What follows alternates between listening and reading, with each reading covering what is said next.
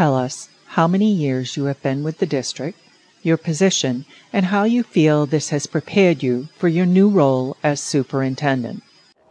Well, I've been in the MSAD 60 district for 20 years. I started in the early summer of 1999, so my first year was that fall.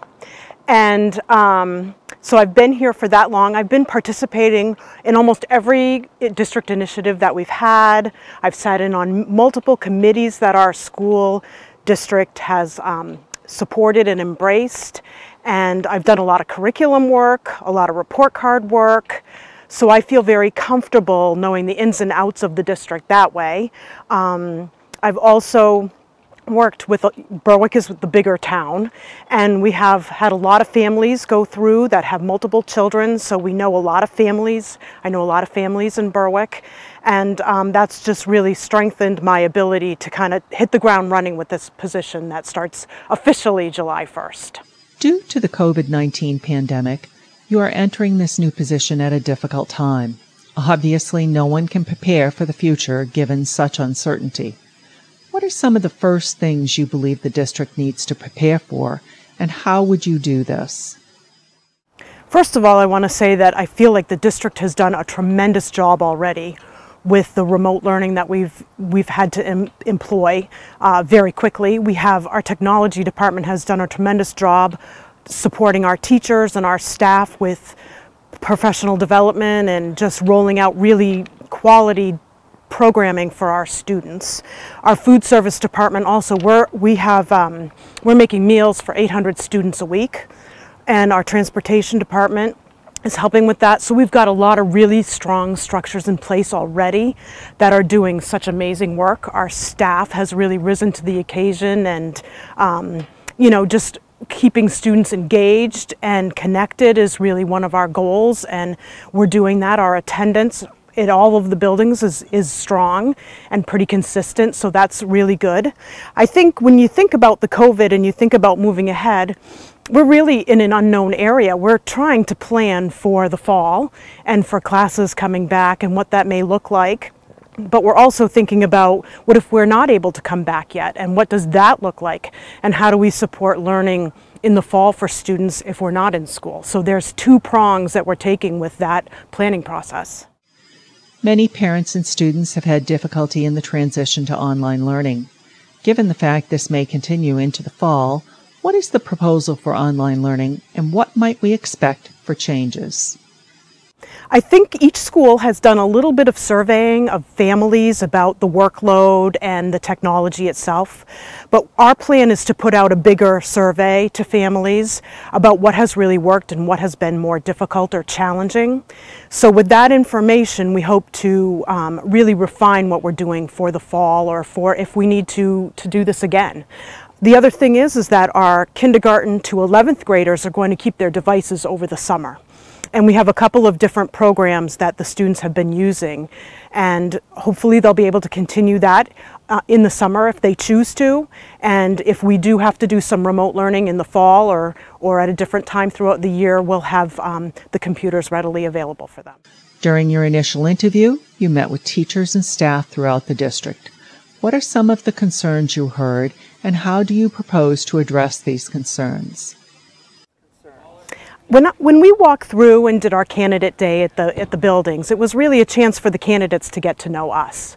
Um, some of the things that when we had an opportunity, when I had an opportunity to talk to different teachers and staff, one of the things that did come up as being something that they would like to keep in the forefront of our um, initiatives is social emotional learning. And we've done quite a bit of that work um, with the second step program that we've implemented for kindergarten through fifth grade students this year. And we have staff that are trained and able to, to execute those lessons.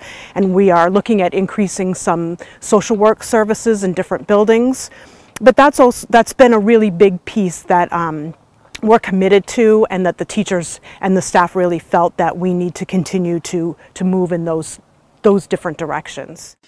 All three towns have seen growth over the last few years. This trend is likely to continue. The district had proposed renovations to North Berwick Elementary and additions to the Lebanon Elementary and Hussey School in Berwick. Given the fact that voting was pushed back, How do you believe this will impact the district, and what do you propose going forward? Well, when we push back the voting, that would give us less time to get all of our ducks in a row, so to speak. Um, but we are working really closely with our um, architecture firm, CHA Architectures, architects that do such a great job and are well versed in school um, planning and development. And we have a great, strong staff, so we're going to be able to, even if a window is shorter for planning purposes, we have the right people in the right positions to get everything we need done and our T's crossed and our I's dotted. Our understanding is that there was a time limit on when you could apply for bonds. Will this impact funding? So the renovation bond um, that we're looking at, that's going on the budget vote in July. And um, if we do get that, uh, we will have, we are looking at how to extend that out because you can't do some of that work when students are in session. So the hope would be that there's going to be some flexibility with, given, given the challenges that we're having right now, there will be some flexibility with that to be able to fulfill that.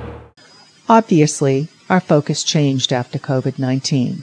However, I'm sure you had some thoughts on changes you would like to see occur, either in the education or administration of the district. I think the biggest thing that I noticed, that I've noticed by being here for the time that I've been here, but also when I did go and visit schools, is that we're doing a lot of great things.